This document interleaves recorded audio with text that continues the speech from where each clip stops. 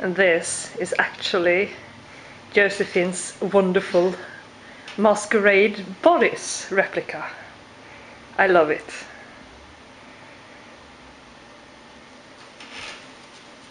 Shall I walk you through it? Yeah, please do. Well, What do we see? this was done in two, um, how shall I put it, in two versions. Uh huh.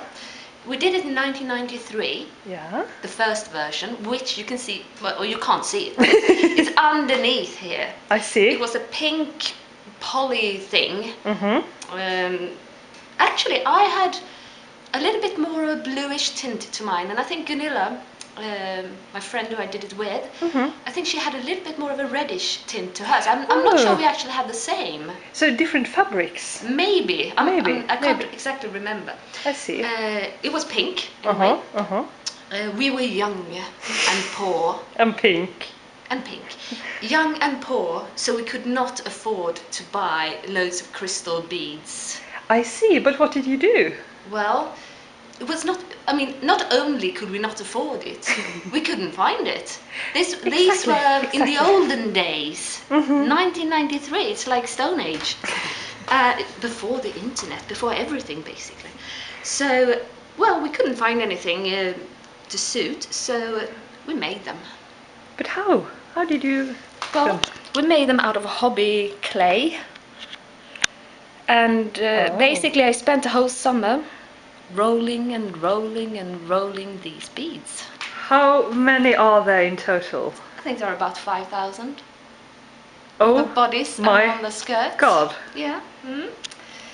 And Painted them silver, so you put them you, on. you rolled them and then you painted them and Well, then I rolled them first, then into the oven with them, uh -huh. then painted them, then put them on the dress. And they've been painted one more time since then. Okay. on the dress. It was a little bit nervous. Whoa! I can Um, see that. Yeah. Was was that the first or the second version? No, that was the second version. Okay. Because the first version, as I said, was all pink, Uh-huh. and then we had this on top here, Yeah. and we had uh, we had another fabric here and another fabric here. Mm -hmm. It was sort of a, a little bit of strange color combination, and I hadn't done it very well. It was a bit uh, sloppy work. I to see. Be honest. And uh, so now the second version, then we wanted to have the. You see that it's going from blue to pink. The to- shading. yeah, exactly the Yeah. shading. Yeah. So how do it? We didn't want to get rid of all the beads because obviously we've done loads of work with them. Obviously. So we got all these bits of organza, Uh huh. uh, lots and lots and lots of different colors of organza, and then put lots of different ones on top of each other. So all of these Oh, are different, yeah. different layers Exactly. to to create. So that's how you get the, The look. shading. Exactly. So I don't think any of these are the same, as you can see. And then Wow. got rid of the sloppy work here, put some new stuff on. For some odd reason, I put all the spangles underneath here, and slightly weird. Uh, we also got some details here, some some beads Oh yes. and the stars up here. And it's actually also lined with the pink fabric. Yes, it's lined inside the pink fabric. That's classy. Yeah. So that is obviously the, the bodice. These are the sleeves, Oh, the puppy. puffy sleeves. The cheerleader. Um, these have been changed too, of course. Only this one remains from um, the original. How did uh, the original look? Um, well, um, I had a more blue greenish um, fabric here, sort of a taffeta fabric, I think. Okay.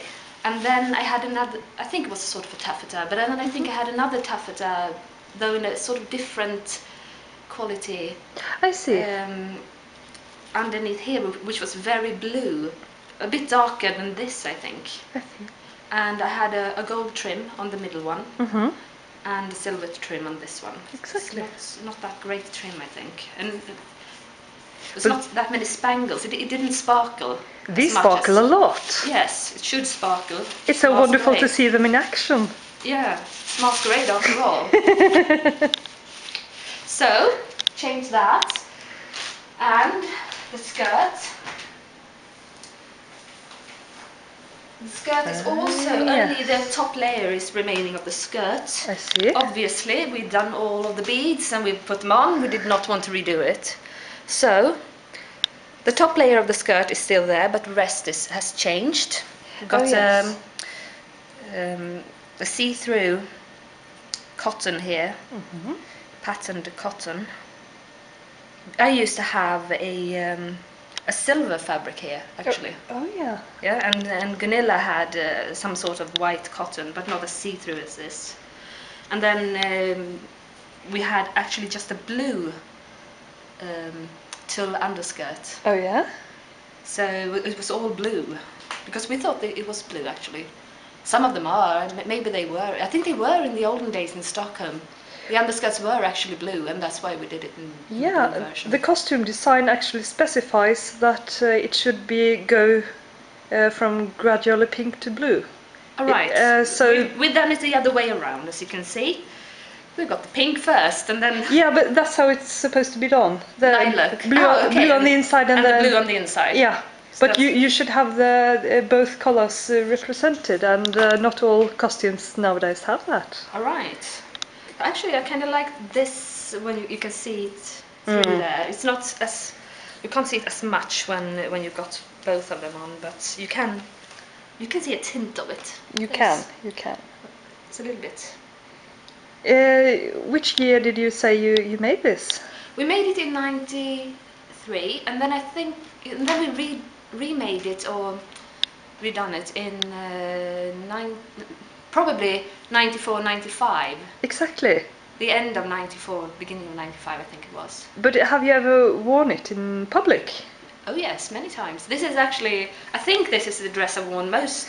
Oh, Uh, so I, I've got lots of good memories in this one. but where? Where did you? I worn it in Stockholm Uh-huh. and in Hamburg. Wonderful. And in Hamburg, of, of course, uh, we were backstage, and uh, we got uh, some. Was one of the dressers who ran upstairs to get the real one because they wanted to compare them. Oh, that's cool. Yeah, that's quite cool. Oh. So this is Josefine's masquerade dress.